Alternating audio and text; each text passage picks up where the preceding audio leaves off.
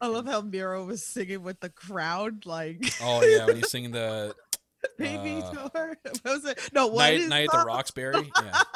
what is love?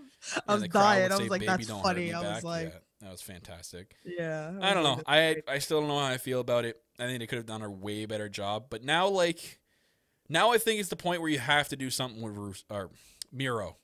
right. You have to do something with him because now, like, ever since his debut, he's really done nothing. Yeah. Like They you- really have it. they They- built this thing from the best man thing when he debuted, and then nothing's come of it. So now, before he gets wasted away and becomes just like a dark or or ringside, you know, kind of like a ringside fan, you got to do something with him now. He's got the potential to get skyrocketed and be a main factor on this show. So you got to do something with him now Yeah. because It's time. it, Like, it's time. Like you, you can't do an- any more of this best man crap after Yeah. this. Like it's over. Wedding's Yeah. done. Move on. He's going his own, but it's not gonna be over because like we're gonna continue this feud with Chuck and Orange Cassidy, so that's gonna be dragged out. But yeah, I agree with you. I think it needs uh something else. He needs a better feud.